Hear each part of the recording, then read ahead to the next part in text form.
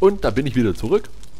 Wir haben beim letzten Mal ähm, ein bisschen Erz eingeschmolzen. Da haben wir jetzt einen Bahn bekommen, haben uns einen Schmiedehammer hergestellt und haben hier hinten dann unser kleines Gehege ein bisschen erweitert. Und bevor es jetzt hier weitergeht, ähm, würde ich erstmal das Gelände alles angleichen. Hm, da muss ich mal kurz nachschauen, wie es hier aussieht. Genau, da fangen wir mit dem hier vorn an. Da müssen wir bloß genau einmal aufschütten. Das haben wir alles dabei. Und ich hatte schon mal irgendwann erwähnt, das Gelände muss erstmal bis zu dem Niveau des Angrenzenden, was äh, angehoben werden soll, äh, auch denselben Wert haben. Und erst dann nochmal anklicken und Flatten Ground auswählen. Damit es auch errichtet wird. Ähm, so. Äh, Observe, hier können wir zweimal was wegnehmen. Dann können wir das da hinten schon wieder woanders aufschütten. Und da machen wir das dann erstmal alles ebenerdig und anschließend sehen wir uns die Fallen an. Vielleicht hat sich da schon mal was angesammelt. Man kann auch, ist mir mal aufgefallen bei einer Falle, wenn was drin ist, dann hört man manchmal so ein kleines, äh, ja, so ein Geräusch halt, was, wo man denkt, da hat sich irgendwas verfangen oder so. Also ruhig mal drauf achten. Nicht immer so, aber das war halt schon mal der Fall. Als ich was in der Falle hatte und da dachte ich dann im Moment, was ist denn das für ein Geräusch? Da habe ich mich dann mal umgeschaut und habe festgestellt, aha, guck an, hier in der Falle, da ist was drin, da hat sich was angesammelt und nachdem ich dann geöffnet hatte, war auch das Geräusch wieder weg. Von daher gehe ich einfach mal davon aus, dass es so, so eine kleine akustische Hilfe gibt, wenn sich was verfangen hat, dass man das auch hört man muss halt auch dafür in der Nähe sein, sonst kriegt man das auch selber nicht mehr mit. So, hier nochmal Flatten Ground. Äh, wir sind schon überladen. Aber da dürfte das jetzt angleichen und nicht nochmal Erde ins Inventar schaufeln. Ja, genau.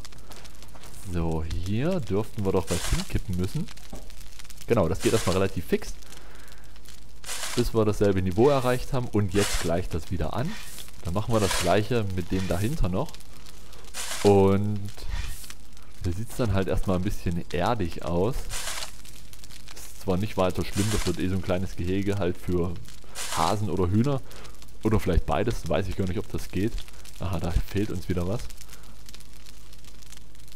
Hm, da fehlt was, da fehlt was und da fehlt eine ganze Menge. Da müssen wir siebenmal was aufschütten. Dann nehmen wir einfach hier hinten ein bisschen was weg. Ähm, lower Ground Level.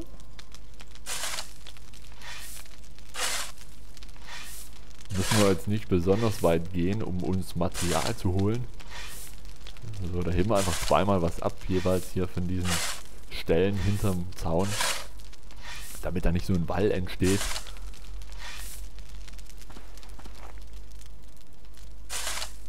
So, das müsste das Nachbargrundstück sein. Da haben wir dann 60, 90, das reicht dann für dreimal. Ja, komm. 90, 120. Nehmen wir einfach nochmal was weg, da haben wir 150, dann sind wir auch voll beladen und dann können wir hier den Rest fast aufschütten. Bei der Einstelle fehlt natürlich eine ganze Menge. Aber das kriegen wir hin. Ähm, ruhig immer noch mal nachschauen, noch mal observen. Da beginnen wir hier, da fehlt nicht so viel. Äh, da brauchen wir jetzt wieder das andere. Und hat er einmal Erde draufgekippt und jetzt macht das wieder ebenerdig. Und dann nehmen wir uns gleich hier links die Nachbarzelle vor. Komm her. Genau nochmal kurz nachgeschaut, dass das auch das Richtige eingestellt ist und nicht einfach... Haben wir denn noch genug dabei? Ja.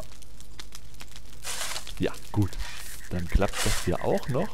Und dann dürfte es ja nur noch die eine Stelle sein, wo halt jetzt viel fehlt. Ne, hier fehlt auch noch eine Stelle. Egal, da müssen wir bis einmal was draufkippen. Hinten ist so ein kleiner Hügel, da können wir was wegnehmen. So, dann gleichen wir das an, dann schauen wir uns mal die Fallen an. Vielleicht haben wir schon was gefangen und dann sollten wir uns nochmal um unser Kupfererz kümmern.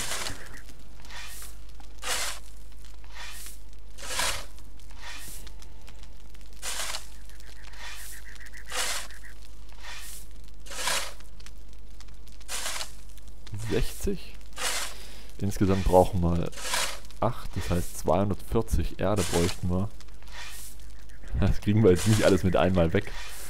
Ähm, 211, 241, zweimal können wir noch draufpacken. So, dann kippen wir, gehen wir nochmal einen Meter vor, nehmen wir das nächste.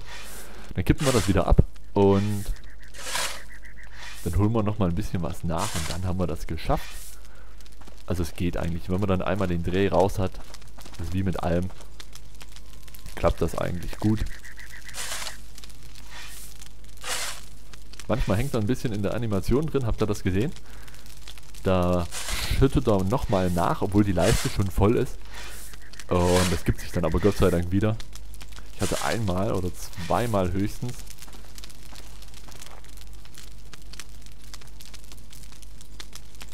So eine Sache, da war er komplett in der Animation stecken geblieben. Da hat er gar nicht mal wieder aufgehört. Äh, da war ich, glaube ich, gerade dabei, einen Baum zu fällen. Da hat er dann wie wild die ganze Zeit, ich könnte laufen, egal was, springen. Der hat immer die Animation drauf gehabt vom Bäume fällen. Und hat sich dann allerdings gegeben, als ich wieder irgendwas anderes gemacht habe, eine Pflanzenfaser gesucht oder einen Ast vom Baum genommen, egal. Ähm, da war das wieder okay und dann hat er sich wieder beruhigt. So. Hm, jetzt weiß ich nicht ganz genau, wie viel wir noch brauchen.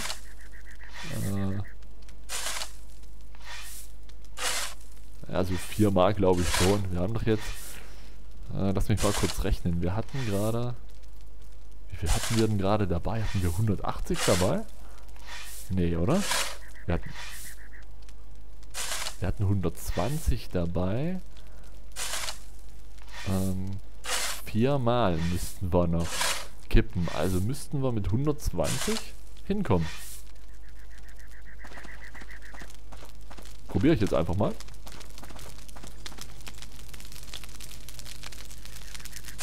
Eins, zwei, drei und das letzte Mal, oder? Ach nee. Okay, das hätte schon gereicht. Dreimal hätte gereicht. Und dann haben wir die ganze Fläche eingeebnet. So, dann bauen wir hier noch zwei Geraden hin. Hier eine Diagonale. Hier nochmal eine gerade. Und hier würde ich dann nochmal eine Tür bauen. Oder reicht eine Tür? Ach nee, komm, wir bauen zwei Türen, das ist okay. Haben zwar das Zeug dafür nicht, aber das macht nichts. So, dann schauen wir uns mal kurz die beiden Fallen an, die wir hingestellt haben. Ähm, das war hier hinten irgendwo. Genau, hier ist eine, da ist noch nichts drin. Und die andere hatten wir hier gleich um die Ecke hingestellt. Die ist auch noch leer. Okay. So, dann gehen wir wieder zu unserem Schmelztiegel hier hinten. Denn da dürfte es bald so weit sein, dass wir die restlichen Bahnen einschmelzen können. Da bekommen wir dann nochmal drei Bahnen raus. Uh, manage Smelting Building. Ja, wir bräuchten vielleicht nochmal ein paar Billets, die wir nachlegen können. Die Hälfte haben wir jetzt ungefähr erreicht. Wenn ich das jetzt dazu packe, fängt das dann wieder von vorn an? Weiß ich nicht. Wir haben noch 20 Platz, da packen wir lieber noch zwei Billets dazu. Haben wir denn die Säge noch drin? Ne, haben wir nicht. Hm. Hm. Moment. Ich gebe mal kurz den restlichen Dreck noch weg und tausche dann mal die Schaufel aus.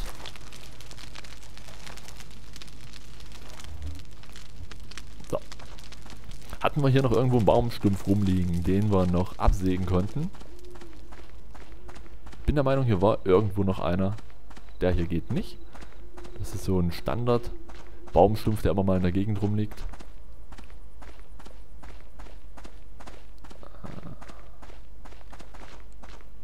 Hm, möchte ungern was Neues. Da hinten liegt noch einer. ungern was Neues abholzen. Solange hier noch irgendwo was rumliegt. Genau, hier haben wir noch einen, da brauchen wir dann... Na, guck mal an. Hier liegt noch eine Falle.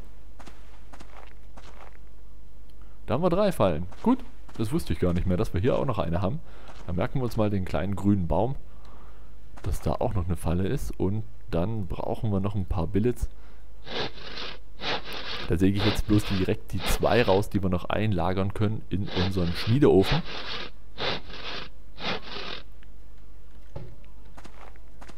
So. Und dann machen wir mal kurz Halt hier vorne bei unserem kleinen Beutel. Der dürfte schon prall gefüllt sein mit einigen... Äh, guck mal an, wir haben sogar noch... Mann, ich hatte das ja schon mal probiert, genau. Ich habe ja noch Kupferbahn. Äh, wir haben sogar noch einen Haufen Billets. Gut, habe ich mich mal direkt selber ausgetrickst. Oh, das macht ja nichts, habt ihr das auch mal alles gesehen. Ähm, das hier sollte noch zurück. Hier ist nochmal eine Spitzhacke. Hier ist schon ein Stückchen Leder. Das kam von einem Hasen, genauso wie das Stück Fleisch hier oben. Ja gut, was soll's. Da war auch schon ein bisschen Glas zu sehen. Ich hatte mal Gla äh, Sand eingeschmolzen, um das mit dem Glas mal zu testen. Ah, dann den, nicht den ganzen Inventar. Na, nicht den ganzen Inventar. Das ganze Inventar, so rum. Ah, okay, da hat er direkt nochmal eins verbraucht. Da hätten wir wieder 10 Platz. So, dann geht's hier weiter. Den Hammer, Hammer, den Hammer, Hammer equipped. ähm, guck mal, wir können auch eine Palisade bauen. Ähm.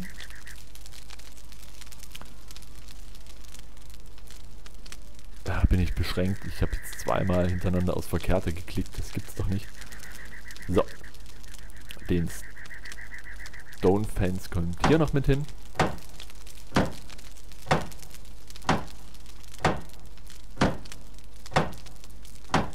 Oh, ich sehe gerade, wir müssen mal was essen. Das sieht ja nicht so super aus.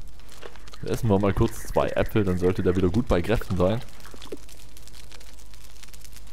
Oh, von 25 auf 85. Ja, ist egal, Äpfel, die gibt es hier wie Sand am Meer. Ähm, hier kommt noch eine Gerade hin.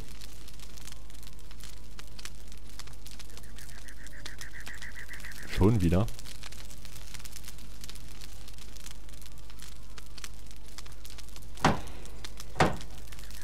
Eigentlich bräuchten wir gar keine Tür. Wir könnten ja einfach drüber springen. Aber ist egal. Hab mich jetzt dafür entschieden, dass wir zwei Türen setzen. Und so machen wir es dann auch. Hier kommt eine Diagonale wieder hin. Ähm.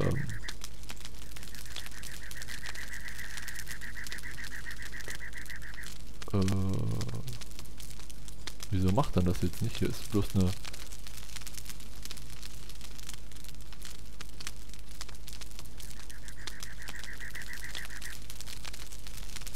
Hä? Wo ist denn jetzt die Diagonale? Ist die nicht hier? Hier ist doch diese Steinwand. Die Steinwand mit Tür. Ach komm, jetzt, wo, wo ist denn jetzt die diagonale Steinwand? Das gibt's doch gar nicht.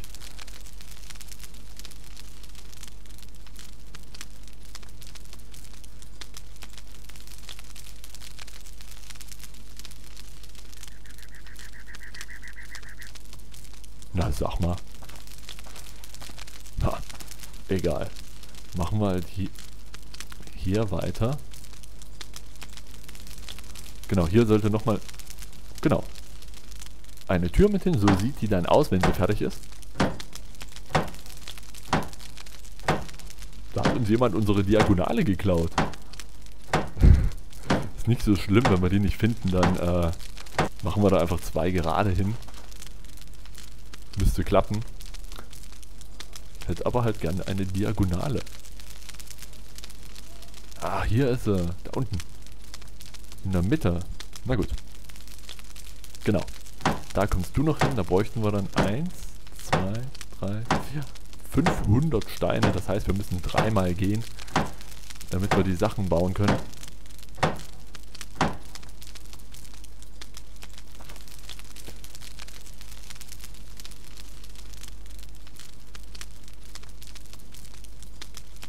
Hier ist er.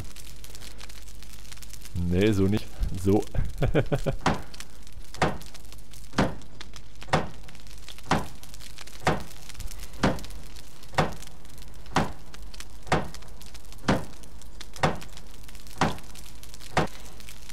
Okay, das Grundgerüst steht, dann könnten wir eigentlich los und die Steine holen, aber ich mache mal wieder mal einen kleinen Abstecher hier hinten hin.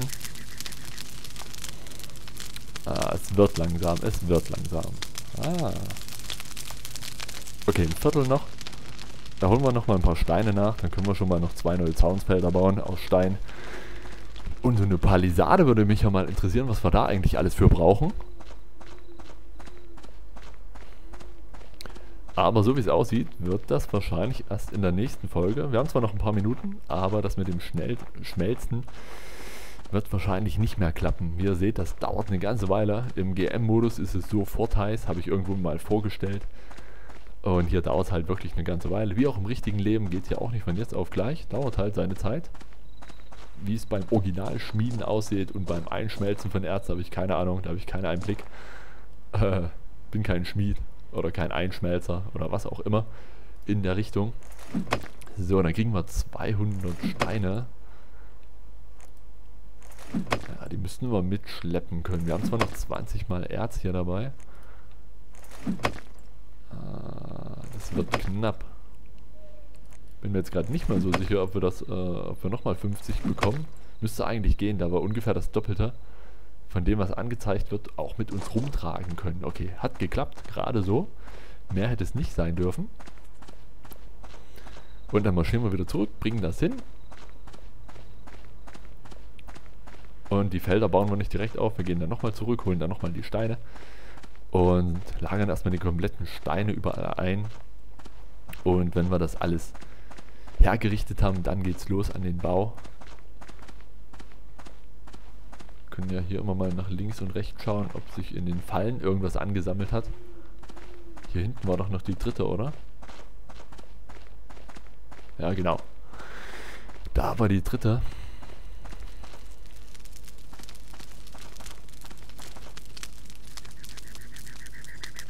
Nee, nicht Deconstruct, sondern Bild. So, da haben wir hier 100. Und noch... Na komm. Und nochmal 100. Dann gehen wir wieder zurück.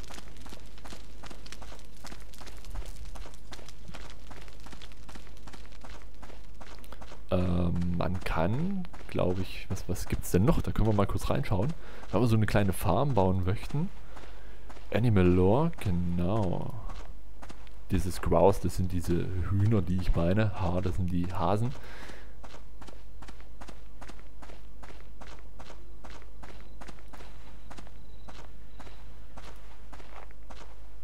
Hier, guck mal an, wir können ihn noch gar nicht in dieses Coop-Ding packen, wenn wir das nachher gebaut haben. Dafür brauchen wir Animal Lore 30.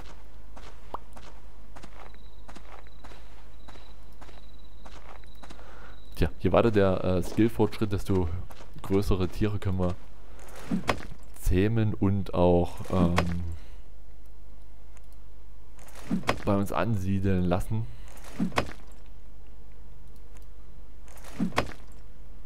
Hm. Da muss ich selber nochmal nachschauen, wie wir das Animal Lore hochkriegen. Äh, 150 haben wir. Und da haben wir dann wieder unsere 200. Das müssten sie, könnten sie ruhig langsam mal fixen, dass das ein bisschen besser klappt mit dem Verstauen der Items im Inventar. Dass sich das gleich alles stapelt und man dann nicht manchmal wenn man einmal ähm, 50 Steine bekommt, dass sie sich in vier verschieden große Stapel gleich aufgliedert. Das ist ja nicht immer so. Manchmal klappt es ja auch, wenn man an verschiedenen Stellen was abbaut, dass das gleich alles korrekt gestapelt wird. Ist allerdings nicht immer so. Meistens äh, sind es irgendwie zwei, drei Stapel, die man da extra bekommt. Tja, ist jetzt kein Beinbruch, kein Weltuntergang, aber ein bisschen kom komfortabler ist es dann schon, wenn das gleich klappt. So, da haben wir was abgegeben. Hier packen wir es noch rein. Und hier, und dann fehlen uns noch 100 für hier drüben. Ähm, okay, die Zeit ist wieder rum, aber das holen wir eben noch nach, die 100 Steine. Das kriegen wir noch hin. Und dann ist es wieder vorbei mit der Serie, mit der Folge. In der nächsten können wir dann endlich die die Erze wieder einschmelzen und kommen dann vielleicht endlich mal an ein paar Nägel ran, damit es hier weitergeht. Und ich äh, mache mich nochmal schlau, wie wir das Animal Lore nach oben treiben.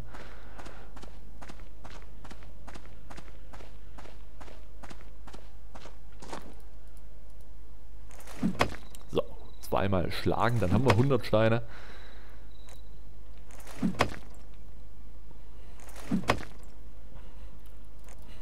Wisst ihr was? Wir schlagen gleich viermal. Jetzt stapelt er alles wunderschön, wie ihr seht. Denn für die Türen brauchen wir auch noch Steine. Da können wir da auch noch ein paar einlagern. Bin mir jetzt nicht sicher, wie viel wir dafür brauchen. Ob wir da auch nochmal 100 oder weniger brauchen. Denn eigentlich brauchen wir gar nicht so viel Stein, da der Rest der Hütte aus einer Holztür besteht. Gucken wir mal.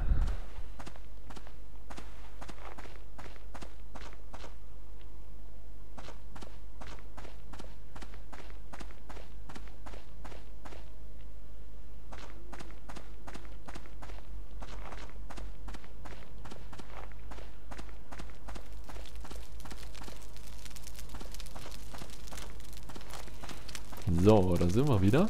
Bringen wir den Rest hier zurück an die Stelle. Nochmal die letzten 100. Und dann haben wir hier noch so eine Tür. Da gucken wir auch noch... Ey, wow, wow, wow. Hör auf, hier irgendwie rumzuschlagen. Ach so, 10 Steine nur. Ja, na gut. Dann packen wir die 10 Steine halt gleich noch hier rein. Okay, gut. Dann war es das jetzt erstmal wieder von mir. Die Zeit ist schon vorbei. Und beim nächsten Mal geht es dann weiter. Da errichten wir die paar kleinen Soundsfelder noch und dann schauen wir nochmal nach bei unserem Forge und Anwähl, den wir sogar von hier auswählen können, sehe ich gerade. Zumindest zeigt er uns hier oben an, was es ist. Ähm, wenn man jetzt hier rumklickt, passiert nichts. Gut, da war es das von mir. Vielen Dank fürs Zusehen und bis zum nächsten Mal.